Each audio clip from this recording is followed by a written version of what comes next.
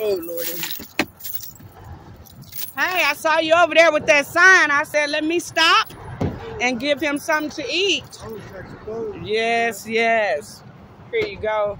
Now, I get this food from a school cafeteria. It's still good food. And uh, over here, I have a waffle. I'm going to give you two of those.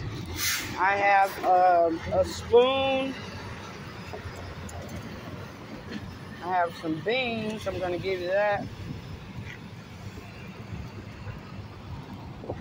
Here's a spoon. And I have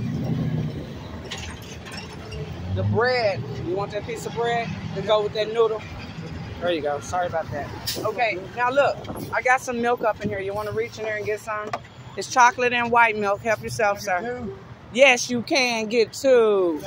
God bless you. Have a good one. Uh-huh. God bless you, baby. All right. I try to come back about the same time every day, about this time.